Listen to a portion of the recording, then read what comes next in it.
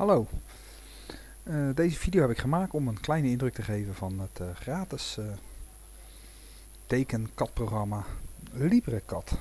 Het is een 2D tekenprogramma en deze video geeft een kleine indruk van wat de mogelijkheden zijn en zo um, het um, simpelste is dat ik gewoon een tekening ga maken, een simpele tekening van een flens met wat gaten erin.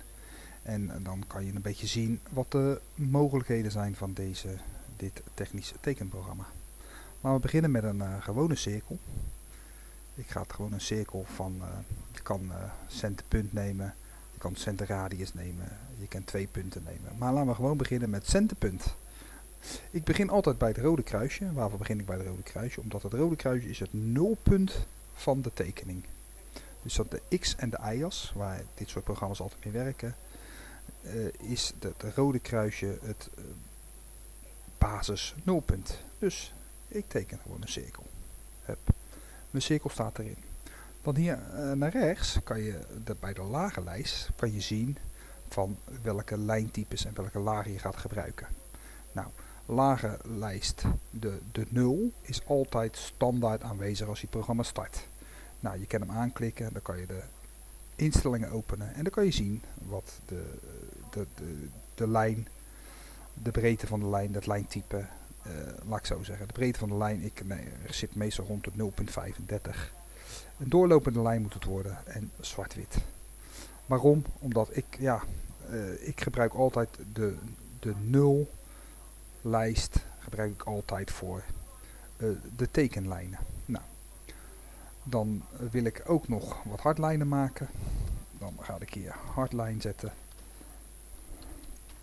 Uh, de hardlijn moet uh, 500 dik worden. En dat wordt natuurlijk dan een centen small. Ja.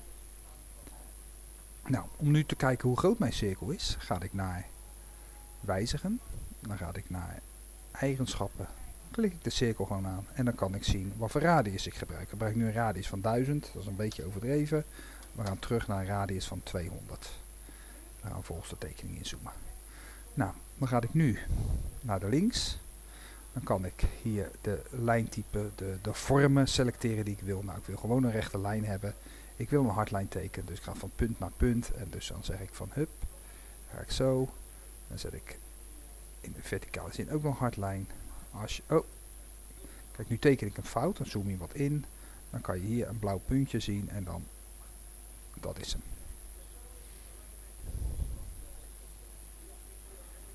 Dat is hem, ja. Dan heb ik nu een cirkel met twee hardlijnen erin. Maar wil ik ook nog een, een steekcirkel erin maken. Een steekcirkel doe ik op dezelfde manier. Ga ik zo naar diameter. Nou, dan kan ik weer naar de wijziger. Dan kan ik naar de eigenschappen kijken. En dan kijk ik naar de, de diameter van mijn steekcirkel. In dit geval radius 160. Goed genoeg. Dan ga ik nog even een cirkel in het midden tekenen van het gat van de flens. Nu zet ik expres de lijntype fout. Want ik zie het, ik teken een, hard, eh, ik teken een hardlijn in plaats van een vaste lijn. Dat kan ik dan laten zien. Dan kan ik gewoon uit wijzigen naar eigenschappen toe. Dan kan ik het uh, cirkeltje aanklikken en dan kan ik aan de, hier kan ik de, de lijntype veranderen. Nou, nu heb ik een flens getekend met een ronde flens met een uh, gat erin. Een gat erin, dat moet eigenlijk later blijken als ik de zijaanzicht tekent. Ik teken nu even het zijaanzichtje erbij. Om even duidelijk te maken wat het is. Dus een rechte zijaanzicht. Alsjeblieft. Ook dan zit ik weer natuurlijk fout met mijn lijn. Maak even niet uit. Mijn eigenschappen.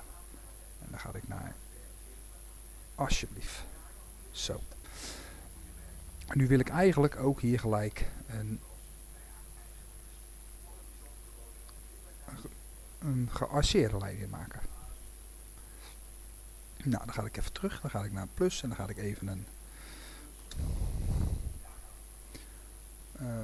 stippel, een stippellijn maken. Doe ik maar stippel even.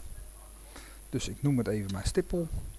Dan ga ik naar, die wil ik ook 500 dik hebben. En dan ga ik naar dash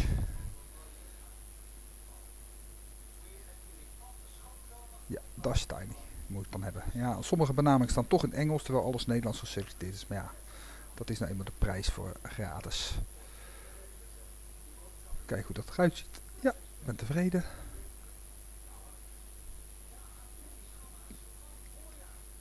Zo. Ik ben tevreden. Nou heb iedereen wel gelijk door dat dat natuurlijk een, een flens is met een doorlopend gat in het midden. Dan gaan we nu even de gatenverdeling tekenen. Ik begin gewoon met één gat in het midden. Laat ik hem wel gelijk even op, op uh, de tekenlijn zetten. En dan zet ik hem even zo. Nou, dat is dan hartstikke mooi. Dan heb ik één gat in het midden. Nou, dit gat in het midden wil ik over uh, gatverdeling over de flens hebben. Hoe doen we dat dan? Het mooiste is als ik dan toch even deze hardlijn wat kleiner maak. En ik teken er even een hard lijntje bij. Tijdelijk. Zo. Dan selecteer ik met mijn linkermuisknop die en die. En dan zeg ik vervolgens wijzigen. En dan zeg ik vervolgens roteer. Als ik iets wil roteren in deze cirkels, moet ik het middelpunt van de cirkel selecteren. Dan opent dit kadertje en dan zeg ik van ik wil meerdere kopieën maken. En dan wil ik even vijf gaten erbij tekenen. Onder een hoek van 60 graden. Hoe kom ik aan 60 graden? 360 gedeeld door 6 is 60 graden. En dan zeg ik oké. En dan staan er 5 gaten. Dan haal ik dit hardlijntje die ik tijdelijk even heb neergezet. Voor de, haal ik even weg. Dan zeg ik wijzigen wisselectie. Dan ga ik dit hardlijntje weer maar even omhoog zetten zo. En dan is mijn flens getekend met 6 gaten. Dan wil ik natuurlijk in het zijaanzicht ook duidelijk maken dat de gaten doorlopend zijn. Dan ga ik gewoon even zo en dan zeg ik weer de stippel. En dan ga ik vervolgens selecteren. Nog een keer selecteren. Nou staat die lijn natuurlijk gelijk met het gatlijn, dus die hoef ik dan niet te tekenen. Dan zeg ik selecteren. Zo, teken ik ook nog even de hardlijntjes erin om het compleet te maken. Zo. Nou, dan kun je natuurlijk zeggen van nou, ik teken ze alle vier. Zou ik persoonlijk niet doen. Ik doe het dan gewoon. Ik selecteer het zo. En ik zeg vervolgens ga ik naar wijzigen. En ik zeg spiegelen. Ik selecteer het midden van het object. In dit geval de flens. En ik zeg gewoon ik zie het, ik zet hem gewoon om op. En dan zeg ik bewaar origineel. Nu heb ik dus een flens getekend met de gaten doorlopend in het zijaanzicht. Nou, de tekening is zo goed als klaar voor deze simpele flens. En um, de gaten zitten erin. Dus uh, wat heb ik nog nodig? Ik heb maten nodig. Dan ga ik vervolgens uh, in de lage lijst een extra lijst maken. En dat zeg ik dan maatlijnen En dan zeg ik van die maatlijnen mogen 500 dik zijn. Ze moeten doorlopend zijn. En dan zeg ik oké. Dan ga ik vervolgens terug, hier links bovenin. En dan ga ik helemaal terug naar het beginscherm. En dan zeg ik van, ik ga maten erin zetten. Dan ga ik, dan ga ik naar de toolbar uh, maten, dimensions is het eigenlijk in het Engels dan. En dan zeg ik, ik ga de horizontale maat wil ik hebben. Dus ik neem de horizontale maat en die ga ik omhoog dan ga ik, zie ik een maatlijn verschijnen. Ik zie ook dat de, eh, de cijfers wel heel erg klein zijn. Nou, dat kan ik vervolgens veranderen. Dan ga ik naar bewerken en dan ga ik naar huidige tekenvoorstellingen. Instellingen, oh, sorry. En dan zeg ik van nou, dan beginnen we met het papier, dat is A4. Uh, eh, ik wil hem liggend geprint hebben, dat is goed. Eenheden, nou, decimaal is twee cijfers achter komma wel genoeg. Nou, een raster je, kan je kijken, maar daar verander ik zelf ook nooit wat aan. Uh, maten is teksthoogte. Uh, ja, ik, ik, begin even met 12 en de pijlgrootte 10. Dan neem ik een maatlijn uitsparing 2. Dat is dan zeg maar wanneer de maatlijn zeg maar begint met tekenen vanaf het geselecteerde punt. En dan zeg ik de offset moet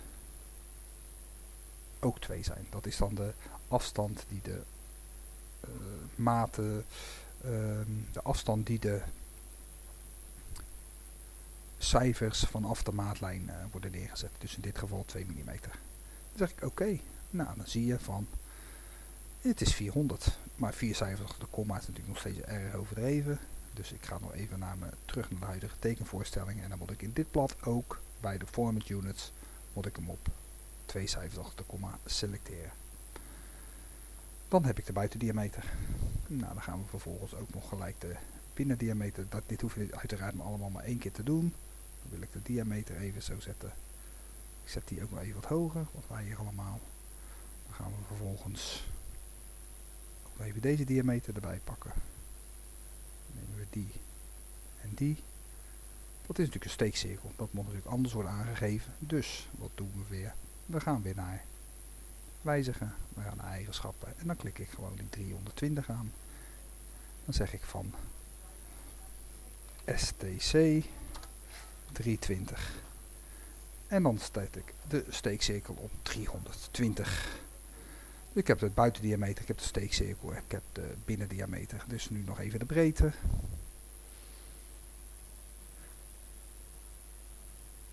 Zo, breedte is 100. Dikke flens, maar dat maakt even niet uit. Dan gaan we vervolgens de gatdiameter nog even doen. Gatdiameter is 40. Die wil ik natuurlijk, ga ik natuurlijk ook even anders aangeven ga ik even weer naar wijzigen. Dan ga ik even naar eigenschappen. Dan zeg ik dus even gewoon 6.